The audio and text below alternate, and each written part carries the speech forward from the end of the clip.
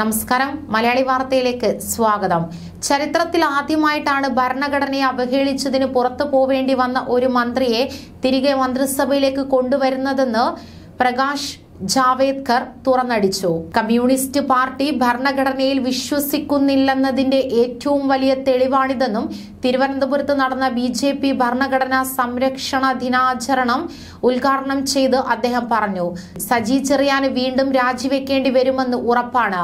ഭരണഘടനാ ശില്പി ബാബ സാഹിബ് അംബേദ്കറിനെ അപമാനിച്ചതിനെ ബി ജെ പി ശക്തമായി അപലപിക്കുന്നു. സജി ചെറിയാൻ ഭരണഘടനയെ അവഹേളിച്ചത് രാജ്യം മുഴുവൻ കണ്ടതാണ്.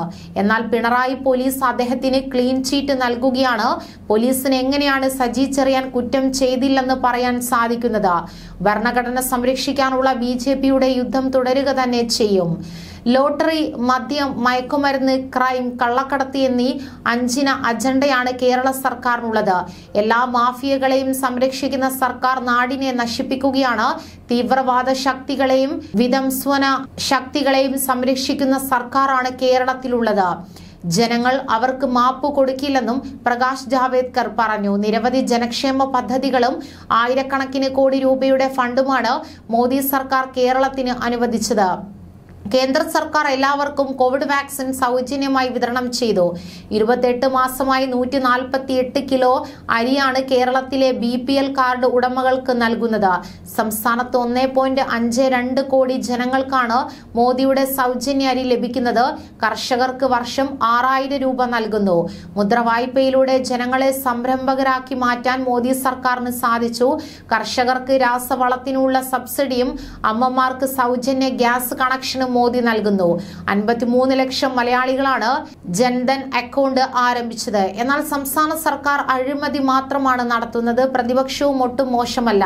അഴിമതിയുടെ കാര്യത്തിൽ രണ്ട് കൂട്ടരും മത്സരിക്കുകയാണ്. നരേന്ദ്രമോദി സർക്കാരിന്റെ പേരിൽ കഴിഞ്ഞ എട്ട് വർഷത്തിനിടെ ഒരു അഴിമതി ആരോപണവും ഉയർന്നിട്ടില്ലെന്നും പ്രകാശ് ജാവേദ്കർ ഓർമ്മിപ്പിച്ചു.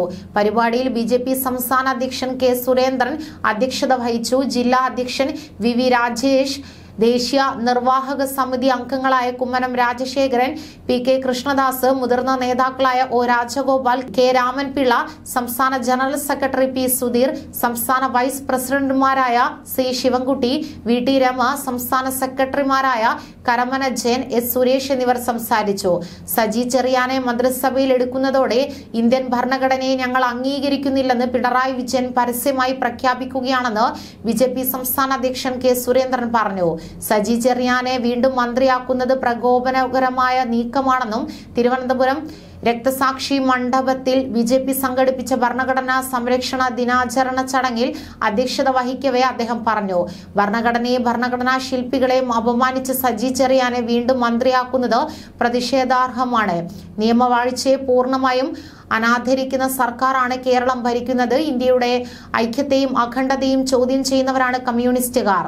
സാമ്രാജ്യത്വ ശക്തികളോടൊപ്പം ചേർന്ന് ഇന്ത്യ ചൈനയെ വളഞ്ഞിട്ടാക്രമിക്കുകയാണെന്ന് പറഞ്ഞ പാർട്ടിയായ സി പി എമ്മിൽ നിന്നും മറിച്ചൊരു തീരുമാനം ആരും പ്രതീക്ഷിക്കേണ്ടതില്ല. John Brittas M P Mujahid സമ്മേളനത്തിൽ പോയി രാജ്യത്തിനെതിരെ കലാപാഹ്വാനം നടത്തിയിരിക്കുകയാണ്.